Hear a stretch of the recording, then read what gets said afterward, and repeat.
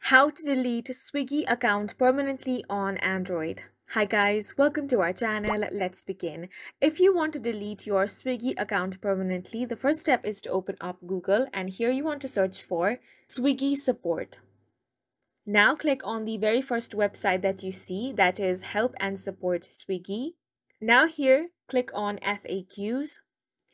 Now from all of these options, you can find the deactivate my account option. Tap on that and here it says, please write to us at support at swiggy.in in the event that you want to deactivate your account. So simply copy this email ID and now head back.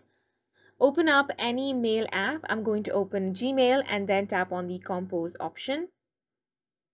Now on the recipient, you simply want to paste the email ID that you have copied, which is support at swiggy.in. Now for the subject type, deactivate my account. For the mail, you want to type in a reason as to why you want to delete your Swiggy account. So it can be any reason. Make sure it is valid. So after composing your mail, you can simply tap on the send button and after this, Swiggy support team are going to contact you quickly and then help you delete your account. And that's it for this video. We hope you guys found it helpful. Please make sure to hit the like button and subscribe for more helpful tutorials.